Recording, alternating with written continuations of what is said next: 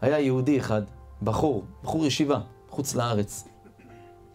אמר לראש ישיבה שלו, שמע רבנו, אני יודע שהקדוש ברוך הוא אוהב אותי. הראש ישיבה התפעל ממנו, אמר לו, בואנה, מאיפה אתה יודע שהשם אוהב אותך?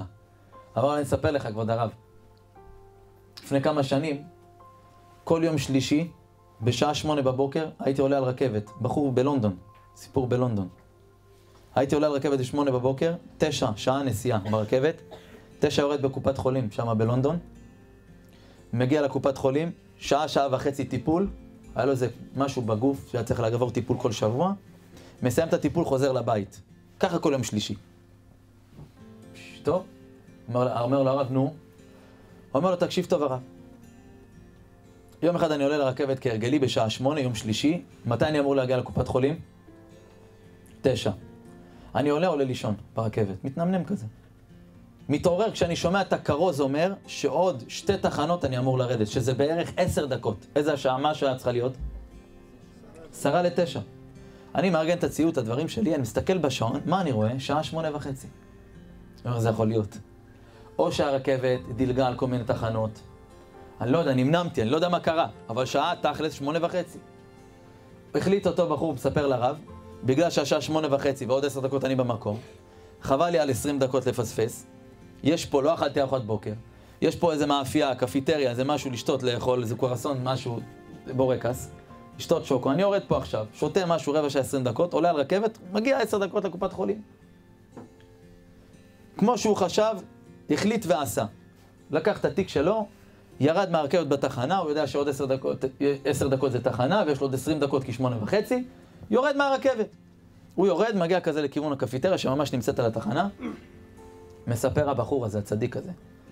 הוא אומר, כבוד הרב, הרכבת מתחילה לנסוע 100 מטר ממני, מתפוצצת, בום. פיגוע ברכבת. זה פיגוע שהיה בעוד כמה מקומות בלונדון בשנת 2015, בעוד כמה מקומות, פה זמנית, מחבלים. אמיתי שהיה. והבחור הזה היה על הרכבת הזאת. וירד לקנות בורקס והשם הציל אותו. הוא לא ידע מה לעשות, כי הוא הבין שעכשיו חדשות, וההורים שלו יחשבו שמה? הוא היה ברכבת, אולי הוא מת. הרים את הטלפון, רצה להתקשר, אבל לא היה קליטה. הקליטה לא הייתה.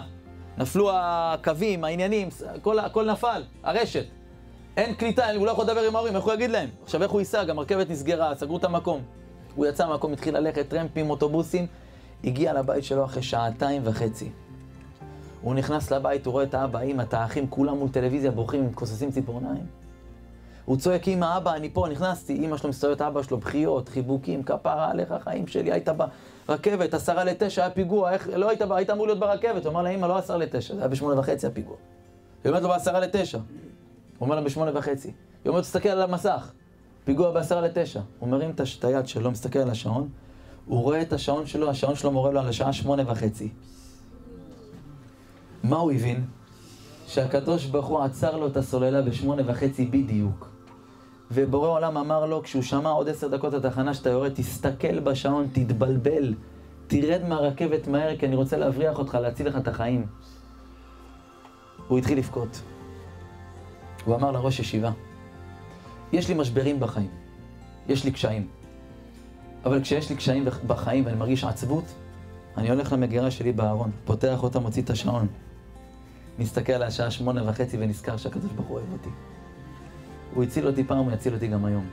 כמו שבורא עולם גאל את עם ישראל שהיו במ"ט שערי טומאה, טינופת, בלי שיעשו צעד. תזכרו את זה, חבר'ה, את הגאולה הזאת. זה בשבילנו. שגם אם נהיה בלוס אנג'לס, תקועים בתאילנד, על איזה חוף ים זרוקים שם, בלי טיפה של קדושה. בורא עולם יבוא עד לשם, עד אליך, אם תרצה. הוא יוציא אותך משם. כשיש לבן אדם את המחשבה וההבנה הזאת, לא ישבור אותו שום דבר בעולם. שום דבר. הוא יקום מכל כל מהלך, כל נפילה, כל משוכה שתבוא עליו, הוא יקום כי הקדוש ברוך הוא ירים אותו.